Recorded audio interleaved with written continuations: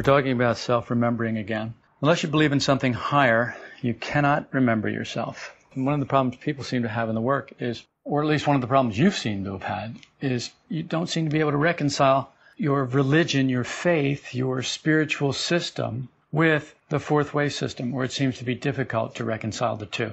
Like you can have one or the other, but you can't have both. And it seems to have hobbled a lot of you, some more than others. That's a shame, really, because Gurdjieff was a very spiritual man, and his system is a very spiritual system. Now, it's true that it has become divorced from the spiritual aspect. It's become divorced from the spiritual side through ritual and over time. As people get further and further away from Gurdjieff, they get further and further away from the heart of the system. The heart of the system really is spiritual because in the beginning it is so top heavy with intellectual knowledge that you have to get. You've got to get the language down. You've got to get the cosmos thing down. You've got to get the enneagram. You've got to get the ray of creation. You, there are a lot of things you have to get down in order to move comfortably in this system. There's a lot of knowledge you have to get.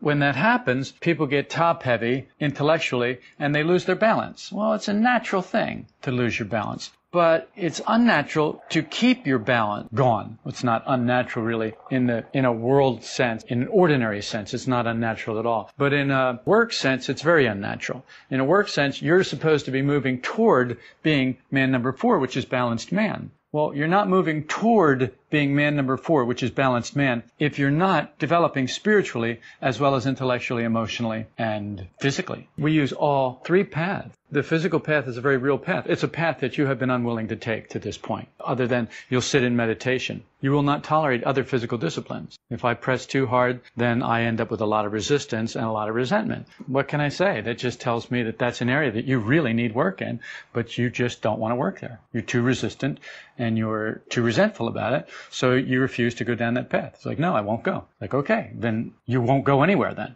You can only go so far on this path, hopping on one leg. This work walks on two legs. You've got to go forward on two legs. So you've got to be moving in whatever area we're moving in at the moment. And at the moment, we're trying to move in a spiritual direction. And I think you'll find that wherever you're holding back, that's going to hinder this part of the, the movement. Whatever it is you've decided, I'm not going there, we're not talking about that, we're not doing that.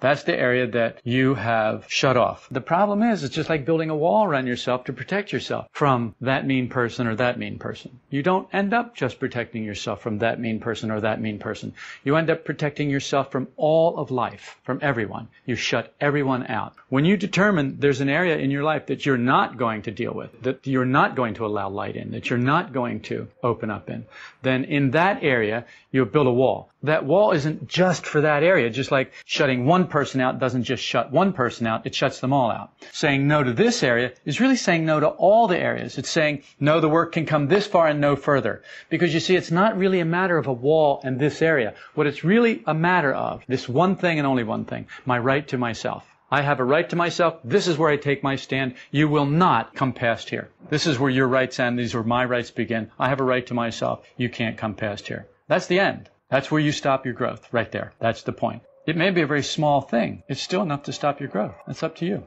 If you find yourself struggling and struggling inordinately and suffering inordinately, there's probably a good reason for that. And the good reason is probably you have determined through your own willfulness that there is some area that you're not going to grow in and you will suffer. And it'll be useless, unnecessary suffering until you decide to sacrifice it. So unless you believe in something higher, you can't remember yourself. So you've got to believe that there's something higher than you. If you can't believe that there's something higher than you, then this is it. This is it, right here. This is it. We live, we die, that's it. You're dead, you're dead. You go to the grave, the worms eat you. That's the end of it. You're unconscious, you're unconscious, you know nothing, you cease to exist. If that's the way it is, then you cannot remember yourself. There's nothing to remember. Certain emotional feeling is always connected with self-remembering. Self-remembering cannot be done in cold blood. You can't just in cold blood remember yourself. There's a certain emotional feeling about it. And you've got to learn to develop a taste for this emotional feeling. You've got to learn to perceive it. You've got to learn to sense it so that you can hone in on it, so that you can move toward it. We must get into a certain state which self-observation doesn't require. You can observe yourself without remembering yourself. We got something there. We connected something there because some people shook their head. Yeah, okay. So they obviously can tell that there is a difference between self-observation and self-remembering. This is a good thing. Though both of these actions finally meet, self remembering and self observation will finally meet, but they don't always meet in the beginning. In the beginning, self remembering is much more difficult than self observation. Self remembering brings us under new influences that we can't otherwise reach. You've got to see that in order to change, in order for you to change your thoughts and your feelings, you are going to have to come under new influences. Now, the problem is that you're resisting those new influences. How are you resisting those new influences? Jess? By my identification With? with the past, with my own ideas. Yeah.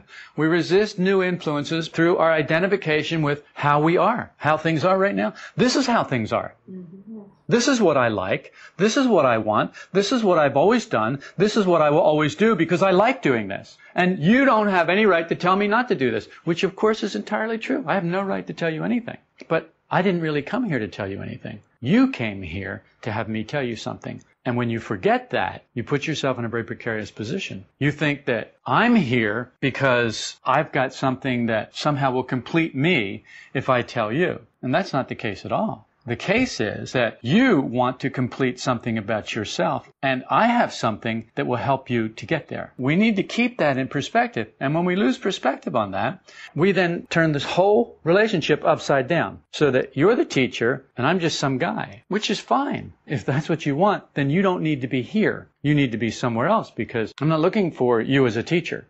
I have a teacher. And so I pay very close, very strict attention to my teacher, and I attempt to do whatever my teacher says to do. We all can say the same thing. But what's the difference? Is there a difference? You do it and I don't. I don't know if I do it or not, but and you can't really say either. All you can say is whether or not you actually do it or whether or not you just imagine you do it. But in order to do that, you'd have to be sincere and you'd have to observe yourself sincerely, objectively. And sometimes you can do that and sometimes you can't. And you're going to have to remember your highest moments because the thing is, is you don't spend much time there. You spend most of your life in your ordinary state. And unless you remember your higher moments, you're not going anywhere in this work, which is what this talk is about. Self-remembering, remembering your higher moments, remembering your higher states of consciousness, remembering the best that you have ever been, and living up to that, not mechanically living down to your ordinary states. There's a state of wonder versus a state of taking everything for granted. And you begin to notice there's a different smell and a different taste to the world when you have that sense of wonder.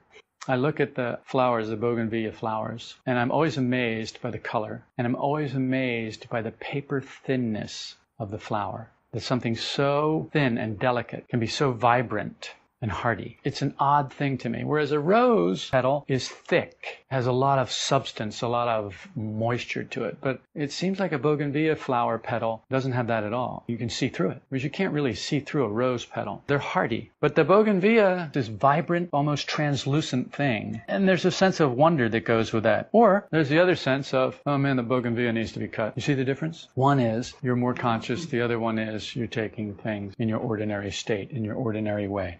Taking everything for granted. We look at the leaves and we go, yeah, we got to cut that. All this work. Now we've got to cut all this stuff. Then we got to pay somebody to haul it away. That's our ordinary state. That's taking everything for granted. Self remembering happens when we're aware of the miraculous. When you look at a tree and you think about what it is and how it got there, that it's a living, growing being, that it has something about its nature, its treeness, that separates it from the telephone pole that is right next to it that was a living, growing being and now is not. When you can think about for a moment that you see through your eyes and you do not know how. The miracle of sight that we take for granted darn near every minute of every day. In order to remember yourself, you've got to be able to get yourself into that other state where you're not taking things for granted, where the miraculous is something that fills you with wonder. You can see we don't spend much time there. Remember that you're in the work. Remember what that means. Take everything in a different way. Every time you come over to my house, you have an opportunity to take everything in a different way. And not every time you come over to my house do you take that opportunity. That's a mistake. You need to take that opportunity. You come over to our house and it's like, well, I'm going to go see this guy. Great. You can go next door and see some guy. If that's all you're going to do, don't come over to my house. That's all. Just don't bother. Don't do me any favors. When you come there, come expecting something. Come expecting to wake up some more. Come expecting to deal with areas that you don't want to deal with, but that you do want to deal with. So see the dichotomy in yourself. See that there's something doesn't want to deal with it, but see that there's something does want to deal with it. And then choose which eyes you're going to go with. Are you going to go with the ordinary eyes? No, I don't want to deal with that. I'm so sick of that. I'm not going to have him. No, he's just some guy. He doesn't know everything. Blah, blah, blah. You're going to go with those eyes? Those are not good eyes. You're going to go with the bad eyes? Or let's say you choose not to go with the bad eyes. Let's say you just choose to believe them. Where are you then? Are you in a better place or a worse place? Are you in a better place? Better place than going with them? I don't agree. I think you'd be better off going with them. If you're going to believe in them, you may as well go with them. At least that will smack you hard in the face. Sooner or later, that will smack you. But if you just believe in them, you don't go with them, that's so much more insidious. Can you see how that's more insidious? It undermines you. It eats away like a cancer until eventually you'll collapse. Your whole relationship will collapse. So remember you're in the work. Remember what it means. Take everything in a different way. The work must stand between us and life. You've got to have this work stand between you and life life. You two, in your wrangling, you don't have the work standing between you and life. You are standing toe to toe, hammering on each other. And I'm asking you to put the work in the middle and for neither one of you to do anything that is not filtered through the work. And you're not doing that. And you're not doing that because you've insisted on having your way. You've insisted on your rights. I have a right to express myself. I have a right to my own opinion. I have a right to say what I want to say, just like everybody else. I have a right to tell you what's wrong with you as I see it. That's my job. I have a right to tell you what you need to change as I see it. That's my job. I never gave anybody those jobs. Those jobs are jobs you took by yourself. I never gave you those jobs. The job I have given you is to have the work between you two so that when you do what you're doing, the work is what determines everything that goes between you. Nothing goes between you without the work. That's the job that I gave you. I told you it was a difficult job. I asked you, are you going to be able to do this? Are you willing to do this? Are you willing to do the job that I've asked you to do? And you both agreed. And at every time I see that you're not doing it, I check and I say, okay, so I know I've asked you to do a lot. Are you still willing to do it? And you keep saying yes, but you keep not putting the work in there. What I want to know is what is it going to take for you to start to put the work in there? Well, what it's going to take is some self-remembering. You're going to have to remember this is not just some ordinary task I've given you. I'm not just some ordinary person giving you some ordinary task. I'm not your boss at work. I'm not your next door neighbor. It's not like that. This is not how our life is. That's not who I am in your life. If that's who I am in your life, you need to leave. You don't belong here. If that's who you're going to make me in your life, then go away. You don't belong here. There's nothing for you here. There's just some idiot standing up here, some goofy looking idiot. I mean, look at this. Standing up here, blabbing about something that's meaningless, means nothing. It's senseless. Your time would be much better spent at a Padres game. What season is this? Is there some kind of sport thing going this time of year? Baseball? So that's Padres, right? You'd be better off at a Padres game. At least you get to have some fun. This doesn't look like much fun for you. If you think that nature, that matter, created itself, you can't remember yourself. Only through a feeling of something higher can you separate from something lower. You think that all this just happened. You think nature created itself, matter created itself. You're not going to remember yourself because there's no higher, there's no lower. There's only this. You got to believe that there's something higher in order to separate from something lower. Or else there's no point. If nature created itself, if matter created itself, then there's no possibility for you other than to go the way of matter, to go the way of nature, to go the way of all flesh. That's it then it's over. Great. That if that's the truth, I want to know that because then life suddenly becomes very easy. Like, oh, great, that's it. Then there's nothing to struggle for. It's all set. But unfortunately, you don't believe that. But you act as if you do, and that's the really weird thing. You don't believe that at all. You really do believe in something higher, but you act just the opposite. You act as if, oh, it all doesn't matter. But it does matter. Everything you do matters. Everything you do matters. Everything you think matters. Everything you feel matters. Everything matters. The test comes when we can distinguish between more awake and more asleep. In the beginning, you don't know more awake from more asleep. So there's nothing can happen. There's no testing can be done. But when you start to be able to distinguish between more asleep and more awake, that's when it really hits the fan. That's when things get tough. When you can distinguish between when you're more awake and more asleep, you have a little bit of choice. And then you find yourself making bad choices. And you're accountable for those bad choices because you know the difference between being a little more awake and a little more asleep and then you begin to suffer. But it's not a good kind of suffering. It's a useless, unnecessary suffering because you're making the bad choices. It's only when you choose to be more awake and to suffer being more awake, to sacrifice being more awake, to sacrifice in your awakeness, in your awakened state, to say, okay, I know better, but I want to act worse, but I'm going to sacrifice what I want. Everything inside of you is going to try and justify not doing that, going to try and justify the other way. Everything then you have a choice. And that's tough. That's when the real test begins. Because that's where the real choice is and that's where the real test is. The test isn't in what you do. The test is in what you believe. The eyes that you choose to believe and go with. That is where the test is. If you think the test is in what you say, you've missed it. You've missed it by a wide margin. That's not where the test is. And that's what you've been thinking. And how I know that is, that's how you've been acting. And we act from what we think and believe. A man speaks out of the fullness of his heart. Well, he acts the same way. And that's the way you've been acting. So it tells me that you're missing this crucial point. I don't talk to you to hear what you like or what you want. I'm not interested in that. We all have likes and dislikes, wants and don't wants. We've all got that. So what? This is the work. This is not life. This is the work. You have one of the greatest honors that a human being can have. You are in the work. You are on the path to remembering yourself. You are on the path to awakening. You are on the path to becoming what you could be, to leaving this ordinary crap behind and becoming something beyond anything that you can imagine in your current state, liberated beyond anything that you can even imagine. And you're treating it as if it's just some group of ideas that somebody thought up. And it's not like that at all. Either this work comes from the conscious circle of humanity or we're the biggest fools that have ever existed. Now, which is it? You need to choose and you need to get with it. I have a lot more respect for the people who've left than for the people who waffle. At least they've chosen. This is stupid. You stink. I'm leaving. Great. Have a great life. It's your life. Go have a great life. I'm not telling you to leave. I'm telling you to work. If you can't tell the difference, then you're not here anyway. Get here. So see, I'm not telling you to leave. I'm saying, look, if you're not here, then get here. Your butt's in the chair. But where are you? No affection, no desire, no work. That's how it goes. You have no affection for this. You have no desire for this. You aren't going to work. You won't have an affection for this until you can see what it can do for you. And you won't see what it can do for you until you see what kind of a specimen you actually are. The thing is, we get glimpses of what kind of a specimen we actually are. And it's usually like, oh, we recoil in horror. But the thing is, we've got to learn to embrace that because it's where we are. It's who we are. It's where we are. It's not a very pretty picture, but it is where we are. And unless we can embrace it, can you see that we can't be on it? You got to be able to embrace it. You got to stop judging it and just embrace it. This is okay. This is who I am. It's not so great, but it's who I am and it's where I start. And only from here can I move forward. I can't move forward from anywhere else. As I said, we can go with bad eyes anytime, or we can gradually learn not to surrender to their power. See, the thing with bad eyes is they've got tremendous power. They've got a lot more power than the work has right now. It's because your affection for bad eyes is so great. You love them. You cannot live without them. You go after them. If they don't come around for a while, you go stir it up and try and get them up. Think about it. If you're not going with bad eyes for a while, you go and try and find some so that you can get back in their company because you feel so comfortable there. You're nuts. Because when you do that, you're expressing negative emotion. Do you understand that?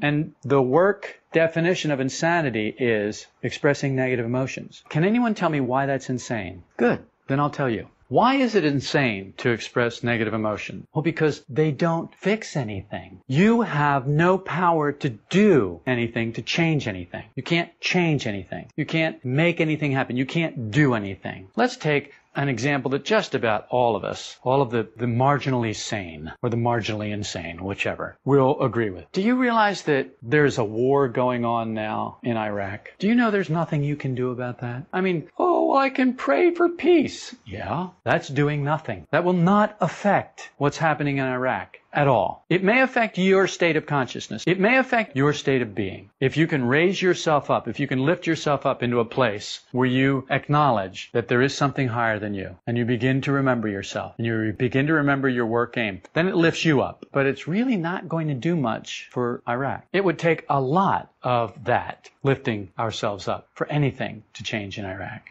Does that mean it can't change? Well, I don't know. But really, that's not our point, is it? We're not here to philosophize. We're here to practically apply these work teachings and experiment in our own life with our own bodies and our own minds and our own emotions and find what works and what doesn't work. That's why we're here. And we could waste an enormous amount of time theorizing and philosophizing about something else.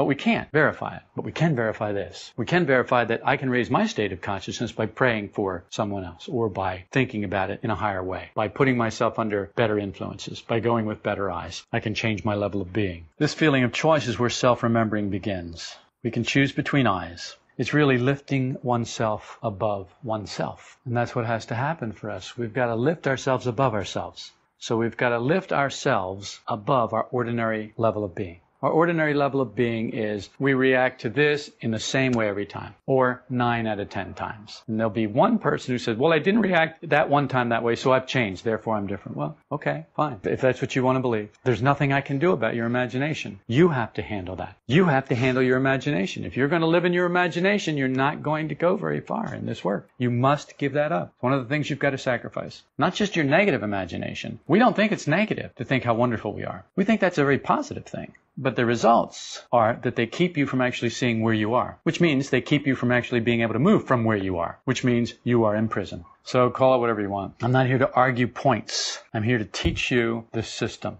I'm here to encourage you to apply it. That's it. The subject of this work is oneself. Theory won't cut it. I don't care about the theory. I'm not interested in the theory. The subject of this work is you. You are the subject of this work. I am the subject of this work. I am the subject of my work. You are the subject of your work. Mere knowledge is useless in and of itself. In fact, it can be dangerous. It's not enough to have knowledge. You've got to have more than knowledge. All that is then is theory or philosophy. You've got to have more. You've got to be able to put it to work. You've got to be able to use it. You've got to be able to apply it to yourself in a sincere, objective way. And only when you can do that can you ever begin to expect to make any kind of experiments that you can verify anything. You have to take a scientific approach to this.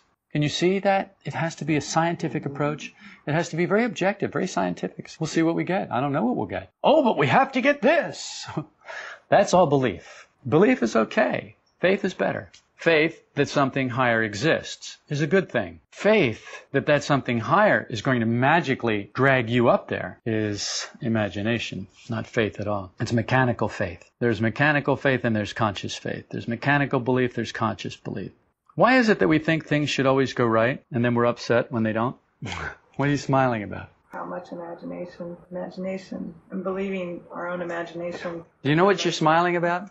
You had a moment of awareness. You had a moment where you looked and went, well, that's right.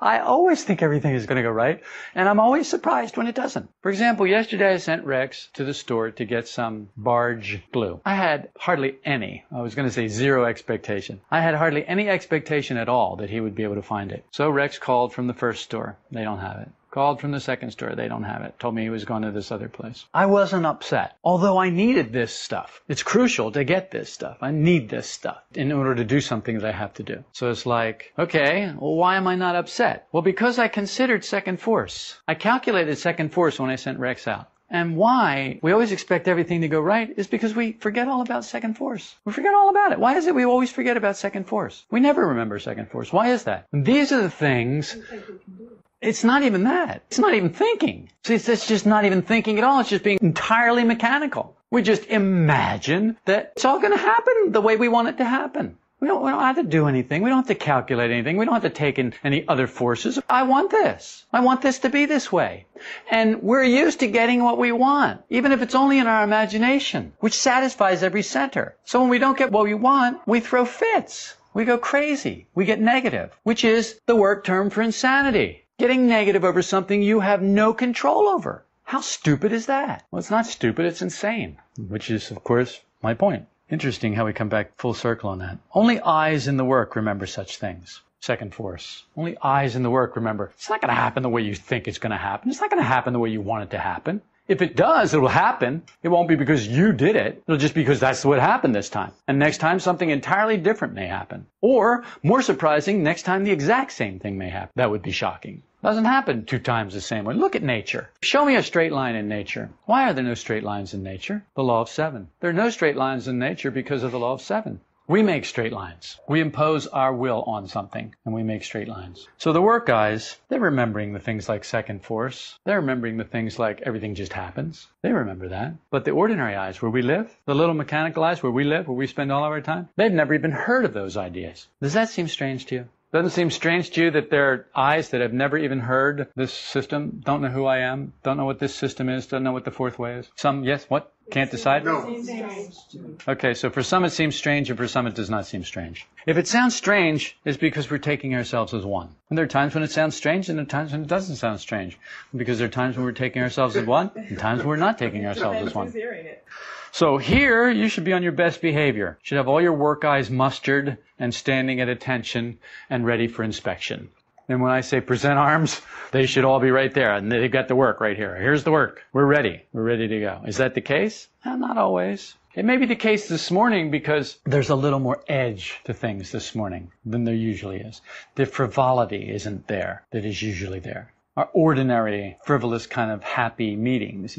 Oh, something's wrong this morning. What's wrong this morning? Something's wrong this morning. Something's different. I don't think anything's wrong. But you can choose whatever you like. To remember oneself is to realize emotionally one's mechanicalness. To be identified is to be asleep. What could be more simple? If you're identified with every eye, you're asleep. If you're beginning to emotionally realize your mechanicalness, you're waking up. Moments of self-remembering come when we emotionally realize work ideas like everything just happens. You taste that you're not in your usual identified state. Everything doesn't just happen. That's how we think. We think, no, everything doesn't just happen. It's up to me to make it happen. It's up to me to fix it. It's up to me to change it. It's not going to get done unless I do it. Who else is going to do it? I'm the man, right? I'm the guy who's got to make this happen. This is what people pay me for. This is what they depend on. When they call me on the phone, they expect me to get the job done. Is this not you? Mm. Yes. So then when it doesn't happen, what happens? We get negative. Good. I thought I was talking to you guys, but I wasn't sure by the looks on your faces there for a minute. As we are, we're made negative by most ordinary events. It takes so little to make us negative. I can make anybody here negative in two minutes. That is not the way this is supposed to work. You need to be on your toes around me. You need to have the work between you and me so that nothing I say can make you negative. Nothing. If you can't practice it here, where are you going to practice it? Where it's easier? Where's it going to be easier than here? Where can it possibly be easier than with your teacher? This is the place where you say, look, this is the one person in life who is never going to make me negative. Ever. Now, that's your experience, right? That's because you do not have the work between us. You have something else between us. And what is that? It's your right to yourself, is what it is. It's going to boil down to your right to yourself. That's what it's going to boil down to. Whatever you want to call it. Yes, it's going to be old associations, which means your right to yourself. Yes, it's going to be internal considering, which means your right to yourself. It doesn't matter what you call it. It's all going to boil down to one thing. Your right to yourself. You are not willing to give it up. Okay. So then you got it. You get to stay who you are. So you came here to change. You came here to be different. You came here to change your thoughts. You came here to change your feelings. You came here to change the direction of your life. And what do you decide to do? Well, I'm not going to do that. I have a right to have things the way they are. Yes, you have. And you've got them just the way they are. Give yourself a big round of applause because you have done it. It's the one thing you've been able to do. You've been able to stay mechanical, stay the same, stay asleep. The telephone pole there can do that. But that's okay. We ascribe this great massive will to our ability to be like the telephone pole. That's what's amazing to me. It's like, oh, look at me. I've stayed mechanical. Do you have any idea what an effort that's been? Oh, yes, I have an idea. It's been a huge effort. You've had to do nothing. You've had to be negative. You've had to internally consider. You had to justify, self-justify. You had to do all those things. A huge effort. Huge expenditure of force. For what? To get nowhere. To change absolutely nothing. To stay the same. Okay. We're asleep. Ordinary events make us negative. The opposite of that is self-remembering. No rocket science here. The opposite of your ordinary state is self-remembering. You know what your ordinary state is. Find what isn't. Oh, well, that's like finding a needle in a haystack, though, isn't it? Because we spend so much time in our ordinary state. But we imagine that we don't. But when your ordinary state is shown for what it is, everything makes us negative. Well, everything doesn't make me negative. See, you're already negative. Never make an aim that's not connected with the work. But I have to eat. I have to go to work. I have to survive. Never make an aim that's not connected with the work. Well, I got to make money in order to pay the bills. Never make an aim that's not connected with the work. Well, then how can I make money and pay the bills? Never make an aim that's not connected with the work. Okay, so let's say you're really clever at making money. So then you make a aim to make a certain amount of money. Does anybody have an aim to make a certain amount of money? So it's a life aim. Yes. Did I say never make an aim that's not connected with the work? Yes, you did. But that's a life aim. So you've got an aim that's not connected with the work. Here we are, two seconds into this, and already, well, I'm not doing that. He doesn't know what he's talking about here. I'm not doing that. Fine for him, but what happens if I stop giving him money? they don't change his mind, will he? So here's what you do. You make some form of the work possible with the money that you make. So you make an aim to make a certain amount of money, whatever that is. I don't care what it is. Double it for all I care. Triple it. I don't care. Now, make an aim to make some part of the work possible, some form of the work possible with part of that money. What does that mean? What does the work need? It needs to move forward on two legs, and it can't do it anything theoretically or philosophically. It has to be practically. So what does it need? What does the work need? What will a school? That's right. And so what does that mean? What can you do? What's your third line of work? What can you do to make that happen? You need to be thinking about this, people. We need a place to meet. What can you do to make that happen? Now you see, you've taken your life aim and you've mingled it with a work aim, and now you can effectively go out and earn that money. You can take those eyes that would only scramble like rats for themselves, and you now begin to train them to do something bigger, to train them to be more useful in a bigger, higher way. That's what this work is about, people. This work is about that. It's about training the little mechanical eyes to be useful because that's all we've got right now. This apparent life aim will connect with the work. Self-remembering must connect with something higher than life and its aims. You're never going to remember yourself out there with life aims. I'll guarantee it. It's just not going to happen. As a matter of fact, what will happen is life aims will drag you out of the work. They will drag you down and out. There's not one person who's ever left the work who didn't leave through life aims. Not one. Life aims is always the door out. Work aims is always the door out of life. Life aims is always the door out of the work. Very simple. Simple choice. But you got to be conscious to make that simple choice. And we're rarely conscious. We're rarely even a little bit awake. An aim should have three forces. There are three lines of work. What does the work need? Gurdjieff said, man must insulate himself from life in order to work. You can't work exposed to every change of external circumstances. If you are exposed to every change in external circumstances, you cannot work.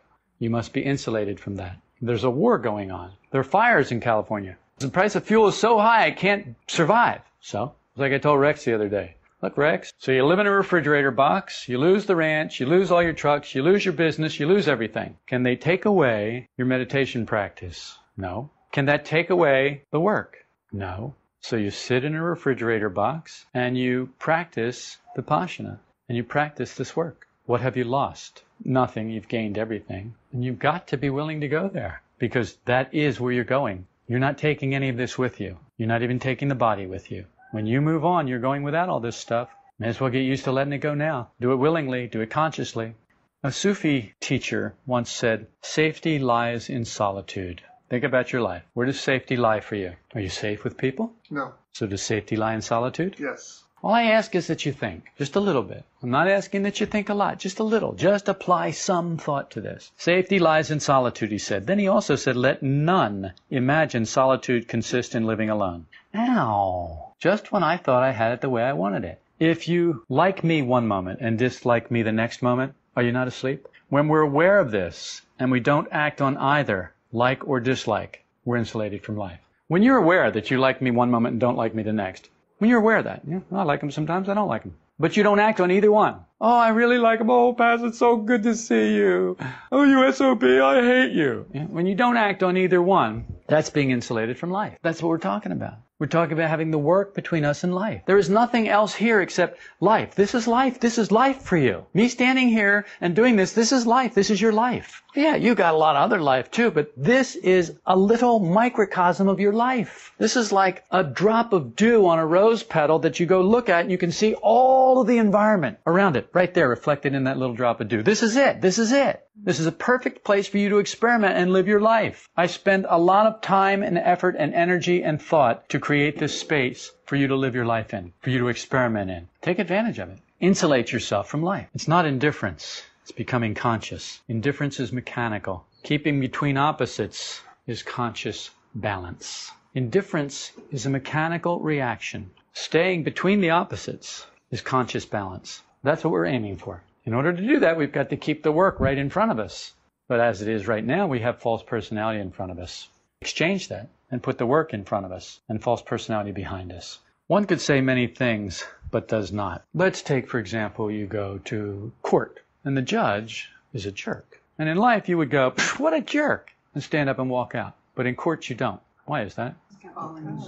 He's got more power. He has the authority to put you in jail. You can say contempt of court. And somebody with a gun comes over and goes to take you away. And if you resist him, then he gets on his radio and he calls a lot of other somebodies with guns and they come and take you away. And if you resist all of them, then they call a lot of others with guns. And they come in and they spray something in your face and they hit you with a baton or they do this. But eventually what they do is they handcuff you and they drag you away. And then they put you in a little cell. And that's what happens. And you know that's what happens. So you keep your big flapping mouth shut, don't you? So it is possible to be silent. It is possible to shut up. But you will only do it under those kinds of extreme circumstances. And I've seen people under those very kinds of extreme circumstances still too stupid to keep their mouth shut. It's a mystery to me how that happens, but it does. So this is external silence, isn't it? Now you get to court, you keep your mouth shut. External silence. Traffic cop stops you and he's going to give you a ticket and every time you open your mouth he adds another ticket. Well, you learn to keep your mouth shut, don't you? You learn to observe external silence. Okay, that's external silence. And in the work, they say you need to observe external silence, but it's not for that reason. Not allowing those I's to talk, not going with them, not believing in them by inner choice is still keeping external silence, but it's doing it in a much deeper way. Can you see the difference? Yes. That's what this work is about. Inner stop means stopping thinking in a certain way, not the external mores that govern what we say, but an inner choice that comes from consciousness that comes from a higher level of being, that comes from an awareness of the work, that comes from self remembering. That is what we're talking about.